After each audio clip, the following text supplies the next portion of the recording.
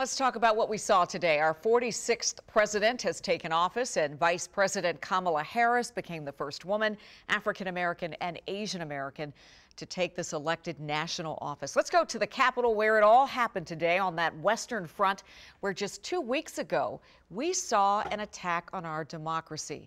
Our Delia Goncalves witnessed it all today, and Delia, you sort of had a front row seat to what was happening. It was incredible. We arrived here at 4:30 this morning and there was a light snow falling down, cascading over the dome of the Capitol. And that really, lots of folks said, symbolized a cleansing of sorts. Uh, it was a heavy couple of weeks leading into the inauguration.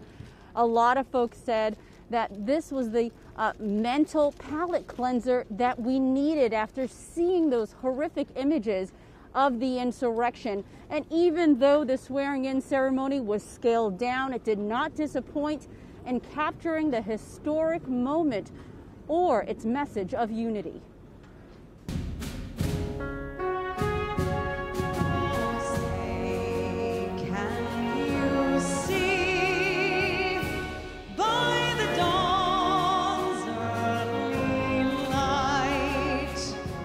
With liberty, and justice for all. The pomp and pageantry was still there despite the COVID pandemic and a riotous insurrection at the U.S. Capitol two weeks ago. No crowds on the mall, just a few lawmakers, dignitaries, and Supreme Court justices, along with family and a small number of invited socially distanced attendees.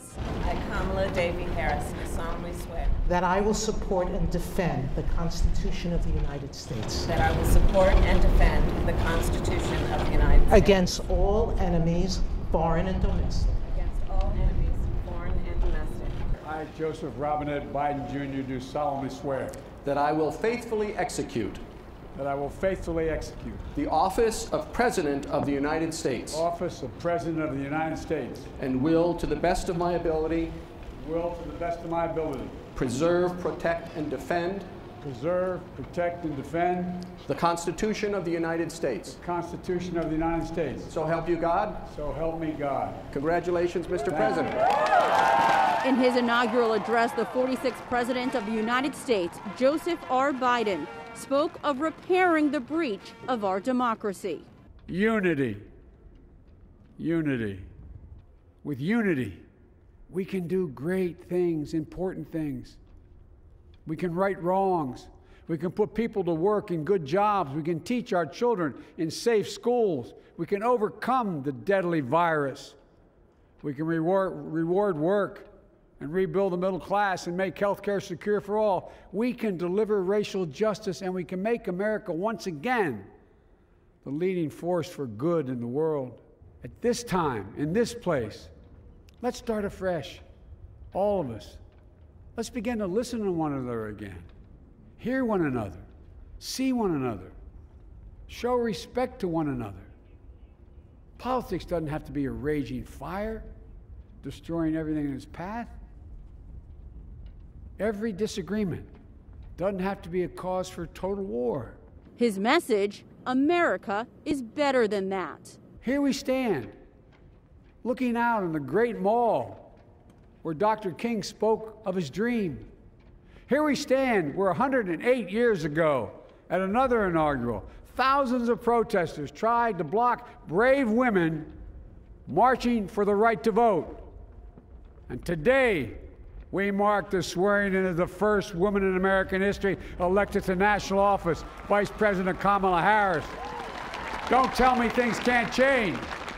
President Biden spoke of healing and uniting a nation that has endured tough tests in recent times, but a nation that can heal when it works for truth, justice, and for the good of every one of its citizens. With purpose and resolve, we turn to those tasks of our time, sustained by faith, driven by conviction, devoted to one another and the country we love with all our hearts. May God bless America and may God protect our troops. Thank you, America. Amazing grace, How sweet the sound that saved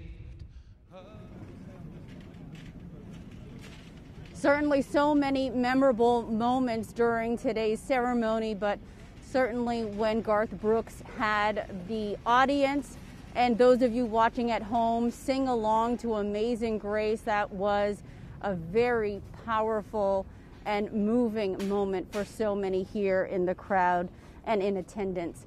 Later tonight, President Biden and Vice President Harris will attend a star studded televised show and you can watch that right here on WUSA 9. For now, we're live at the Capitol. Delia Goncalves, WUSA 9. We are just halfway through an incredible day, and they're still going. All right, Delia, thank you.